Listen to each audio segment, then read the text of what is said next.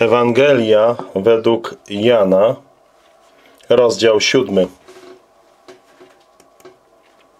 Potem chodził Jezus po Galilei. Nie chciał chodzić po Judei, dlatego że Żydzi dążyli usilnie, aby go zabić. Było blisko żydowskie święto namiotów. Wtedy powiedzieli do niego bracia. Wtedy powiedzieli do niego jego bracia – Odejdź stąd i idź do Judei, żeby i twoi uczniowie widzieli dzieła, które ty czynisz. Nikt bowiem nie czyni czegoś skrytości i dąży zarazem, aby być publicznie znanym. Jeśli takie rzeczy czynisz, pokaż się światu.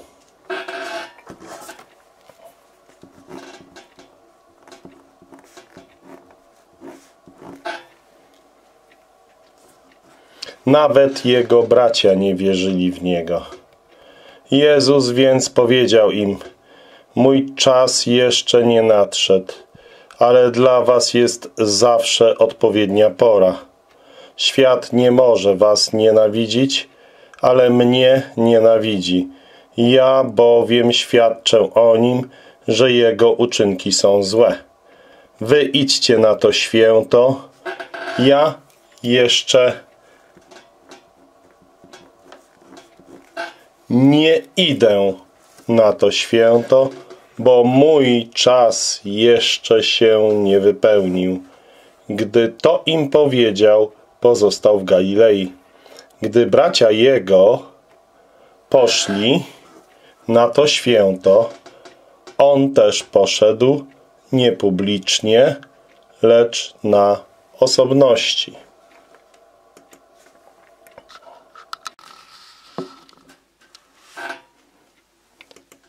Gdy bracia jego poszli na to święto, on też poszedł, nie publicznie, lecz na osobności. Żydzi szukali go w święto i mówili, gdzie on jest. Wiele szeptano o nim między ludem. Jedni mówili, że jest dobry, a inni natomiast mówili, nie, ale zwodzi lud. Nikt jednak jawnie o nim nie mówił z powodu bojaźni przed Żydami. Gdy już minęła połowa święta, wyszedł Jezus, wszedł Jezus do świątyni i nauczał. Wtedy dziwili się Żydzi, skąd on zna pismo, skoro się nie uczył. Jezus odpowiedział im, nauka moja nie jest moja, ale tego, który mnie posłał. Jeśli ktoś chce czynić wolę Jego, ten pozna, czy ta nauka jest z Boga, czy ja sam od siebie mówię. Kto z samego siebie mówi, szuka własnej chwały, ale kto szuka chwały tego, który go posłał, ten jest prawdziwy i nie ma w nim niesprawiedliwości. Czy Mojżesz nie dał wam prawa? I jednak żaden z was nie przestrzega prawa. Dlaczego szukacie sposobu, aby mnie zamordować? Odpowiedział lud, masz demona. Kto próbuje cię zamordować? Jezus odpowiedział im, jednego dzieła dokonałem i wszyscy się temu dziwicie.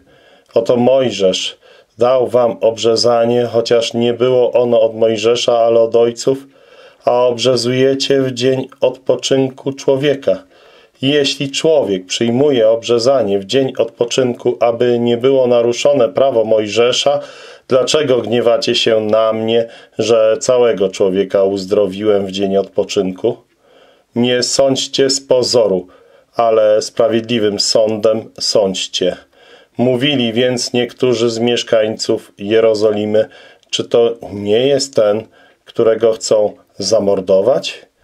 Oto on mówi otwarcie i nic mu nie mówią. Czyżby przywódcy prawdziwie poznali, że to jest Chrystus? O nim wiemy skąd jest.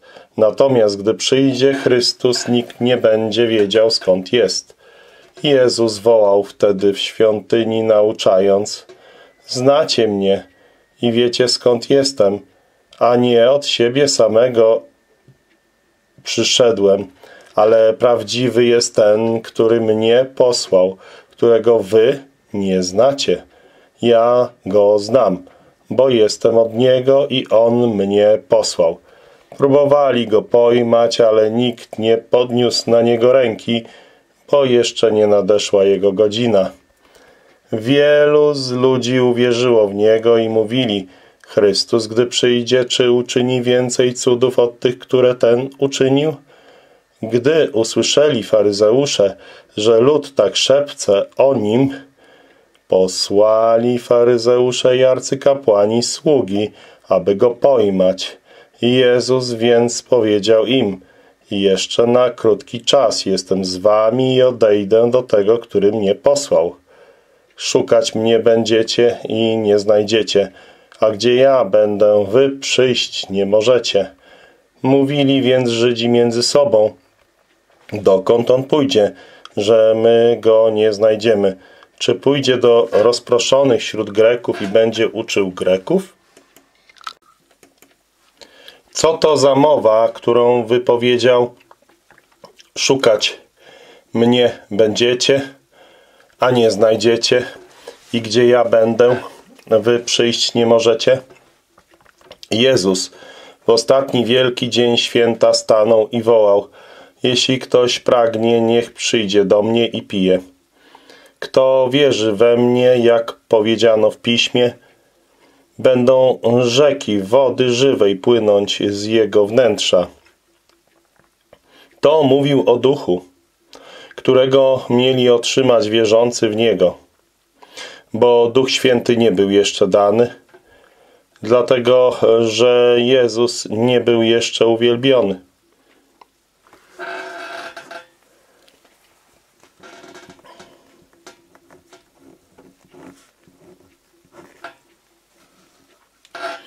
Wtedy nieliczni spośród ludu, słysząc te słowa, mówiło, to prawdziwie jest prorok. Inni mówili, to jest Chrystus. Inni natomiast mówili, czy z Galilei przyjdzie Chrystus? Czy Pismo nie mówi, że Chrystus przyjdzie z nasienia Dawida i z miejscowości Betlejem, gdzie był Dawid? Powstał więc rozłam między ludem z powodu niego. Niektórzy z nich chcieli go pojmać, ale nikt nie położył na nim swojej ręki.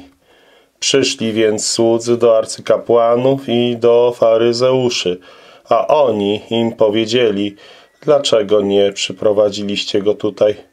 Odpowiedzieli słudzy, żaden człowiek nigdy nie przemawiał tak, jak ten człowiek. Odpowiedzieli im faryzeusze, czy i wy jesteście zwiedzeni? Czy ktoś z przywódców albo z faryzeuszy uwierzył w niego? To pospólstwo, które nie zna prawa, jest przeklęte. Nikodem, będący jednym z nich, przemówił do nich, czy nasze prawo sądzi człowieka, jeżeli wcześniej nie wysłucha go i nie pozna, co czyni? Odpowiedzieli mu, czy i ty jesteś z Galilei? Zbadaj i zobacz, że nie powstał prorok z Galilei. I poszedł każdy do swojego domu.